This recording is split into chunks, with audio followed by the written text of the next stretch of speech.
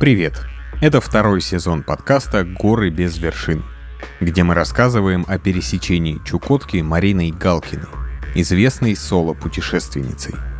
Этим маршрутом она прошла в непростом 1998 году, причем в одиночку, без денег, без попутчиков, без какой-либо системной поддержки, но с помощью множества добрых людей, которые встречались ей на пути – меня зовут Саша Начито. Я здесь за рассказчика. За Марину Галкину читает она сама. Этот подкаст записан в студии «Спорткастерная» совместно с компанией «Сплав». Компания «Сплав» предлагает широкий ассортимент снаряжения для палаточного лагеря. Это тенты, палатки, одиночные или многоместные, спальники, теплые пуховые и легкие летние, газовое оборудование, посуда и множество других необходимых и просто полезных вещей.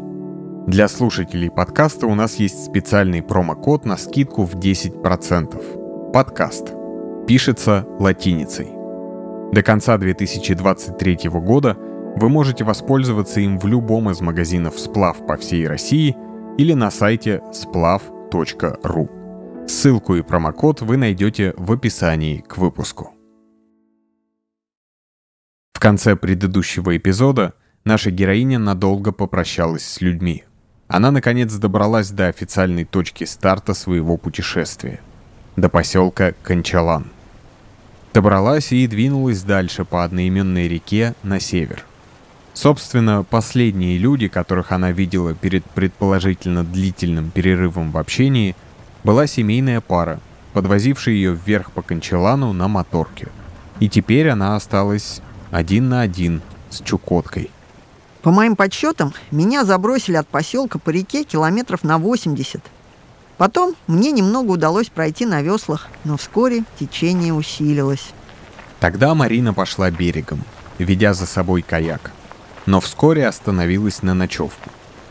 Ей приглянулась яркая лужайка низкорослого цветущего иван-чая посреди голого галечника – конце первого дня реального отрыва от людей я долго ворочалась и не могла уснуть. В голову закрадывались разные неприятные мысли, сомнения. Но сон все-таки пришел и вылечил от пессимизма. На следующий день Марина привязала к носу и корме каяка веревку длиной метров 25, надела мягкий спас-жилет, поверх него перекинула веревку через грудь и плечо и превратилась по ее собственному определению в заправского бурлака.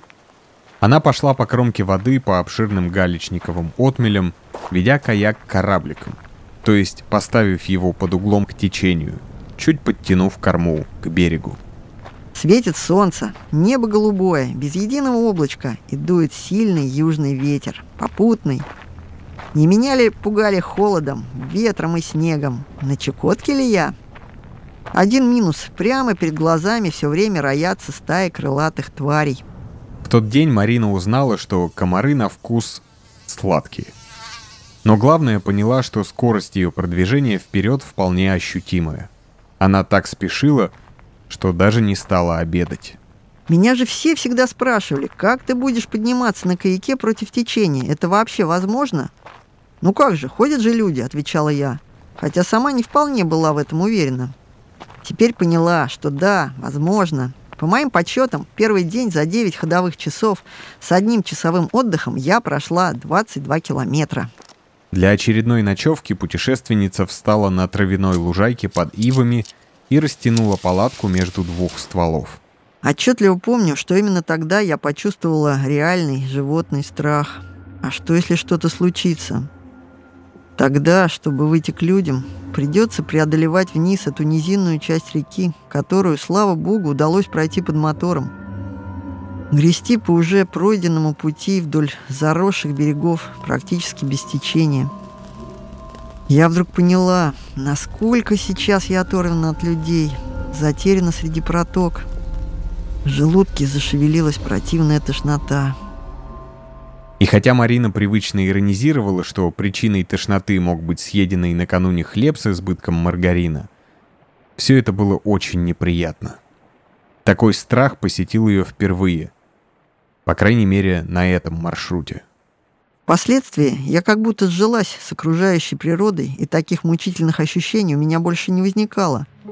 Страх приходил, но был каким-то отстраненным, что ли, а в ту ночь меня охватило сильное чувство одиночества, и я испугалась его. Ее настроение в тот период еще довольно сильно портило невозможность сфотографировать увиденное. Все эти потрясающие чукотские пейзажи, мимо которых она проплывала или проходила. Фотоаппарат, взятый в дорогу, вдруг отказался работать. В Москве Марина привыкла снимать на «Зенит». Оптика была проверенная, кадры получались качественными. Но он весил целый килограмм – что для багажа одиночной пешей странницы было слишком. Тогда Маринина подруга Юля предложила свой пентекс. Весил он всего 220 граммов, а качество его снимков было не хуже, а порой даже лучше зенитовских. И я взяла пентекс, хотя до этого никогда на него не снимала. В целом это автомат, который, казалось, не требует большого умения в обращении. Сам наводится на резкость, сам выбирает выдержку и диафрагму. Работает он на батарейках, и хотя в нем стояла почти новая, я захватила с собой еще про запас.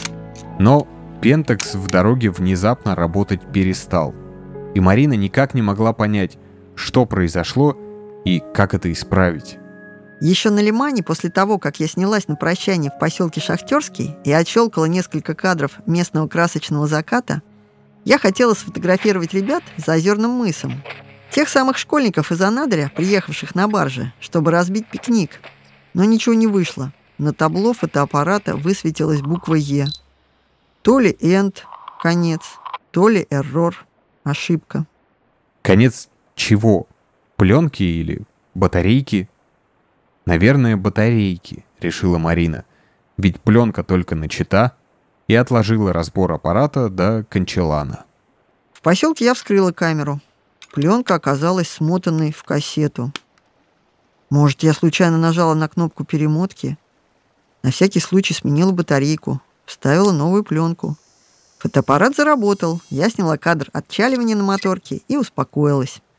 Но когда Марина стала фотографировать проводивших ее вверх по кончелану Лену с Николаем, снова ничего не получилось. Фотоаппарат опять показал ненавистную букву «Е». И тут я вспомнила, что когда сделала кадр и убрала фотоаппарат в карман, сквозь шум моторки мне послышалось какое-то странное жужжание. Возможно, пленка как-то сама отщелкалась и в конце автоматически смоталась обратно в кассету. А теперь фотоаппарат сигнализирует об этом, мол, кадров больше нету. Как ни ковыряла Марина фирменную одноразовую кассету, ее крышка не открывалась. Эх, почему я не перерыла весь кончелан, не нашла какой-нибудь работающий фотик? Теперь-то, конечно, уже было поздно.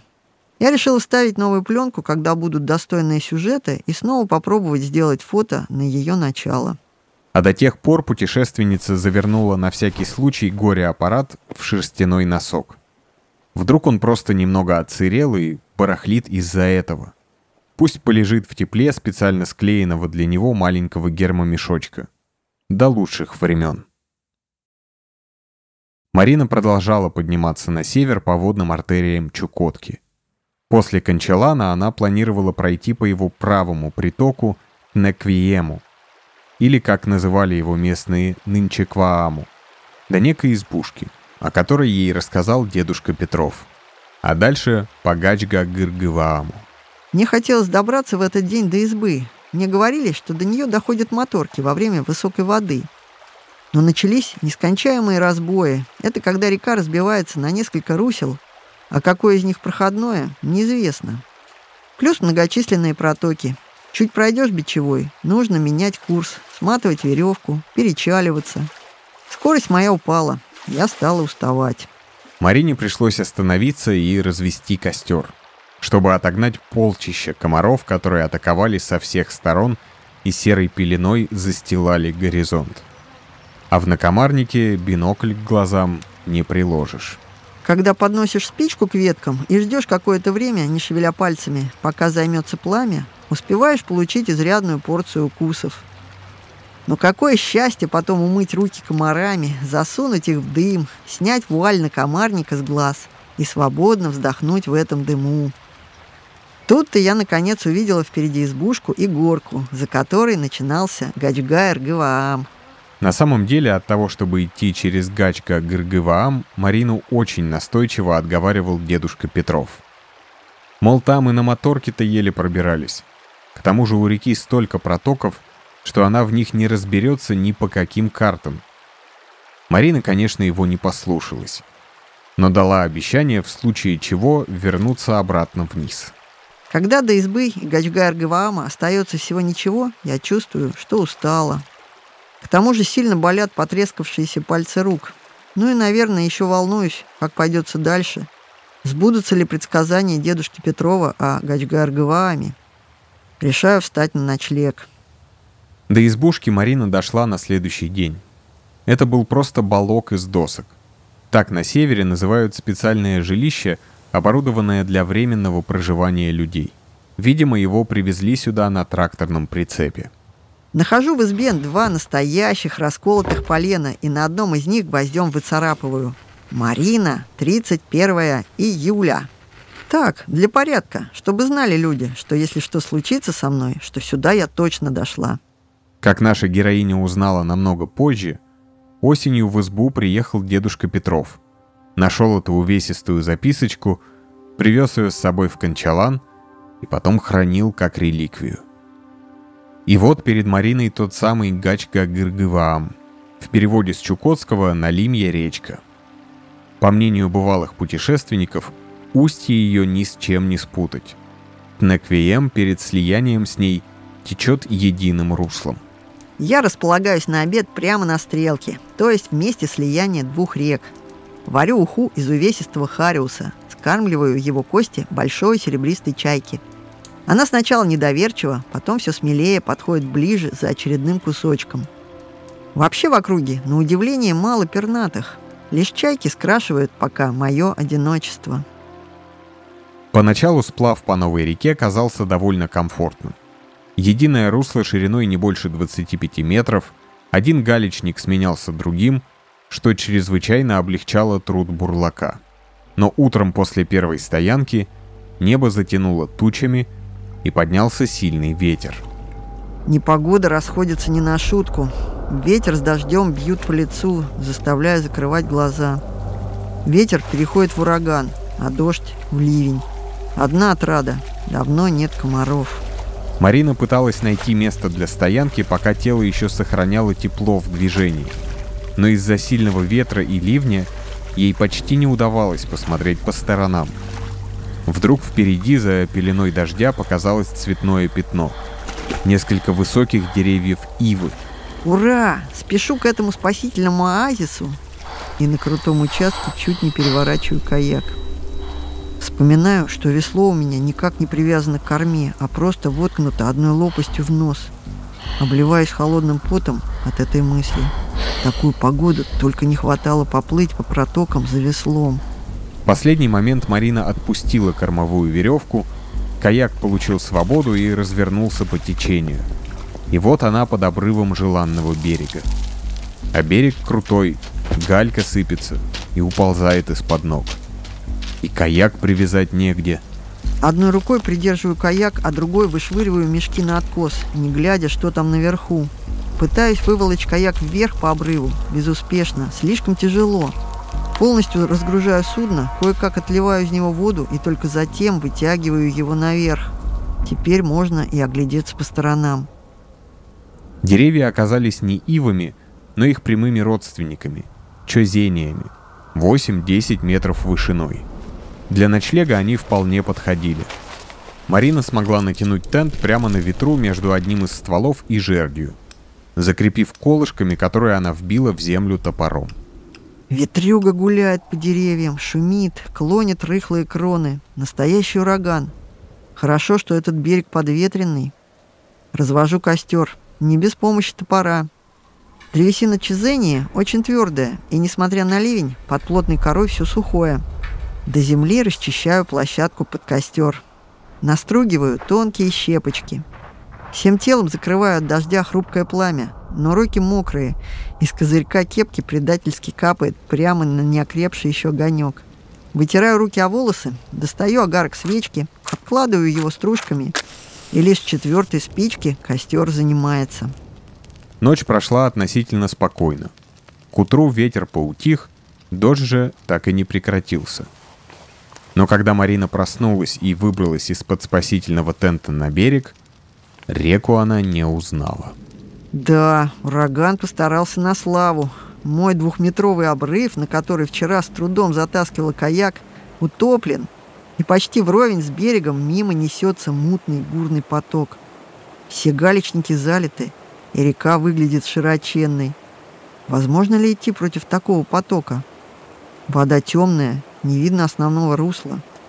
Нет, сейчас идти вверх. Просто безумие. Марина решает прогуляться налегке до ближайшей сопки, чтобы осмотреться. Надеваю гидрочулки и кроссовки, подвязываю на пояс гидрокуртку, на голове накомарник, на боку нож. На грудном кармане штормовки спички и компас, за воротом бинокль. Что еще нужно? Как хорошо идти налегке. Разведка показала, что Марина на небольшом острове. После обхода ближайших окрестностей она возвращается к стоянке. А вода в реке снова прибыла. Вот это да. Трава над бывшим обрывом уже подмокает. Этак еще сантиметров двадцать, и меня тоже затопит. Дождь не кончается. Ложусь спать, но мне страшно от мысли, что вода может прибыть. Вылезаю в сумерках наружу и снова разглядываю воду. Путешественница вспомнила, что читала о случае, когда на дальневосточной реке паводком смыло вековые лиственницы вместе с островом. А что, если и меня здесь снесет аномальным наводнением? С этими мыслями она подтащила каяк к дереву, к которому был привязан тент. Перевернула его вверх очком, то есть тем отверстием, куда садится каякер. Мол, ничего, пусть заливает дождем. Зато если прибудет вода, он останется на плаву. Если что, буду вот так сидеть в каяке, привязанная к дереву. Надеюсь, оно выстоит. Звучит смешно, но мне было не смешно, а страшно. И лежа в палатке под тентом, я все прислушивалась к шуму воды и снова долго не могла заснуть. Утром Марина встала поздно. Дождь кончился, вода немного сошла. Пока наша героиня перед завтраком развешивала оцаревшие вещи для просушки по окрестным кустам, в фотоаппарате, том самом бедовом пентаксе, вдруг загорелся огонек — Ого, вы только посмотрите, неужели он дает мне добро на съемку? Может, вылечился наконец? Шерстяной носок сделал свое доброе дело? На радостях она сделала несколько кадров, но радость быстро сменилась разочарованием. У фотоаппарата проявились прежние симптомы болезни. И хотя погода еще полностью не выправилась, это передвижение далось ей очень нелегко — Рюкзак кажется тяжелее, чем обычно. Плюс сама местность то протоки, то кочки, то под ногами чавкает. Вдалеке на горизонте горы. Тундра. Она не бывает ровной. Эти слова из книги Олега Куваева прочно засели в моей голове. Линия горизонта все время волнистая. Она очерчена небольшими холмиками, изгибами рельефа. Несмотря на все, вдруг понимаю, что мне нравится идти по тундре, можно смотреть вокруг, видеть просторы. Что за ближайшим отрогом горки? Неизвестность и любопытство, стимулы движения. Вскоре вода спала, и Марина продолжила маршрут, как обычно. Бичевой против течения. На стрелке Гачга-Гыргываама и реки Травянистой она остановилась на очередной ночлег. Это место было первым гипотетическим вариантом переваливания на Танюрер – одну из крупнейших чукотских рек, текущей почти строго с севера на юг. От этого варианта наша героиня отказалась еще давно, когда узнала о более северном Волоке, который используют оленеводы. Но уже тут, на Чукотке, Марина решила не идти и по второму запланированному маршруту. Я поняла, что второй раз не хочу подниматься в низовьях широкой Чукотской реки. Лучше пойду на север по прямому пути, самые-самые верховья притока Гачгайр-Гваама, речки Горностайной. И уж там перевалю на реку Озерную, которая приведет меня в верхнее течение Танюрера. Сколько придется тащить груз до начала сплава, она не знала. Но пусть этот путь неизведанный, зато он идет среди гор, решила путешественница. Через пару дней горного пути на очередном его витке Марину вдруг ждал крутой сюрприз. Заворачиваю, заворачиваю за поворот, жду, когда же, наконец, увижу галочку перевала. Уговариваю себя пройти еще немного. Вижу травянистую лужайку на ровной полочке склона, цветущий горец. Все, здесь стою на ночлег. И вдруг впереди, в полукилометре, вижу палатки, люди, вездеход. Марину охватил невероятный восторг. Еще бы, уже 11 дней, как она не встречала не то что людей, а даже медведей. А тут геологи. Поднимаюсь от реки на ровную тундровую террасу, к стоянке, и оказываюсь в окружении дюжины ребятишек и мужчин. Нет, это не геологи, а оленеводы. Местные, чукчи. Оленеводы были облачены кто в обычные геологические штормовки, кто в камлейки, этакие непромокаемые балахоны. Снизу либо солдатские штаны, либо самодельные брезентовые, либо суконные. Единственная среди них женщина-чукчанка жарила лепешки на костре из ивовых веток. У всех, даже самых маленьких, на поясах висели ножи. В их глазах молчаливый вопрос «Кто я? Откуда?» Говорю «Здравствуйте, я путешественница, иду от Кончелана». Что-то вездехода вроде не слышно. Так пешком иду. Внизу еще лодка лежит. По реке на лодке поднималась. Это были оленеводы 4-й Кончаланской бригады. Стадо к ним пока еще не подошло. Сами они прикочевали с верха долины как раз через предстоящий Марине перевал. Тут встали лагерем и завтра собирались вниз по горностайной. Удивляюсь, что вместо переносных яранг у них всего две небольшие палатки. Одна из них сферической формы на металлических каркасных дугах. Предмет американской гуманитарной помощи. Оказывается, летом всегда так. Ведь в это время года пастухи-оленеводы перемещаются в день за стадом на 10-12 километров. Палатки легче транспортировать, а в ярангах оленеводы недолго живут на стойбище, когда перекочевывают туда. Марину очень тронуло вежливое, даже какое-то рыцарское отношение к ней этих встреченных ей людей. Возможно, они и были удивлены ее одиночным путешествием. Однако все их вопросы были очень деликатными. За время общения они ни разу не спросили, замужем ли она, сколько ей лет, и главное, зачем она путешествует. Меня усаживают у костра, подложив для сидения оленя шкуру. Наливают сладкий чай, ставят передо мной кастрюлю плова. Набрасываюсь на пресные лепешки. Да, сейчас новые подоспеют, не ешьте эти. Но я не могу оторваться. Тем временем к месту стоянки медленно приблизилось стадо. Разноцветные фигуры оленей россыпью заполнили склоны долины. Они плавно обтекали лагерь, пугливо шарахаясь от людей. Их движение сопровождал какой-то мелодичный перезвон, который Марина сначала объяснила трением рогов. На самом деле характерный звук возникал при ходьбе животных из-за особого строения их коленных суставов. Стемнело. Над хребтом взошла тусклая луна. Стадо залегло чуть ниже нашего лагеря, и дежурные пастухи подошли к костру попить чая. Потянуло на мистические рассказы. В паре километров э, ниже устья Чумы-Вейма, притока Танюры, жил охотник один. Так он осенью 97-го подстрелил очень большого медведя. Из книг Куваева и Орлова Марина была знакома с легендой об этом существе. Олег Куваев впервые услышал о нем еще в конце 50-х на Чукотской реке Угаткын, как раз от пастухов Чаучу. Они рассказали о буром медведе, большом как яранга, который ходит в горах. Куваев этим рассказом тогда не поверил, объяснив это все горным чукотским туманом, в котором зайца можно принять за лошадь.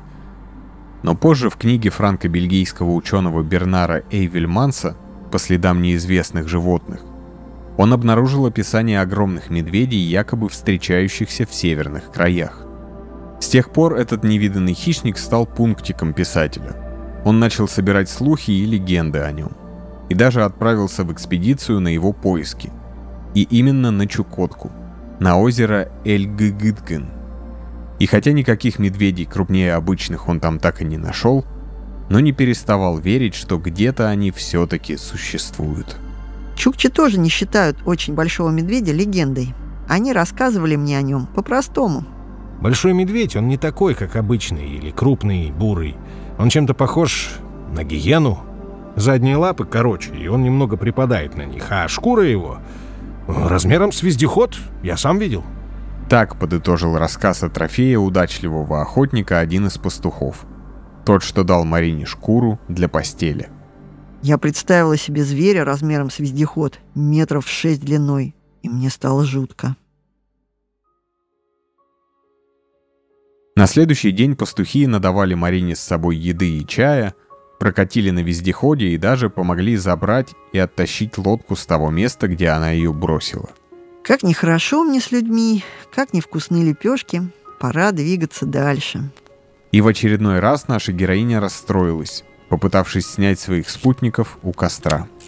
Фотоаппарат по-прежнему не работал.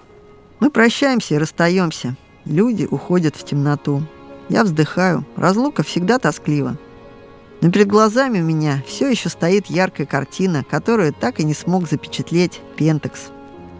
Невысокие горки, голубое небо, вездеход с антенной рации, шуршащая масса оленей, бегущая по кругу, зеленые кочки тундры, ловкие, загорелые до черноты мальчишки с арканами в руках, застывшие в броске.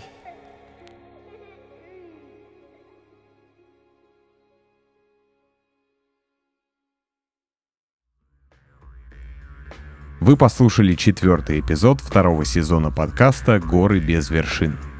Ждем ваши отзывы и комментарии на платформах прослушивания, а также в телеграм-канале «Спорткастерной». Роли исполняли Марина Галкина и Саша Начито. Оленевод Андрей Одинцов. Над подкастом работали продюсер и редактор Марина Шиняева, сценарист Анна Чепайтыне – Звукорежиссер Александр Архипов. Обложку нарисовала Софья Игинова. Спасибо заместителю директора по научной работе Кунсткамеры Владимиру Давыдову за помощь в работе. Подкаст записан в студии «Спорткастерная» в партнерстве с компанией «Сплав».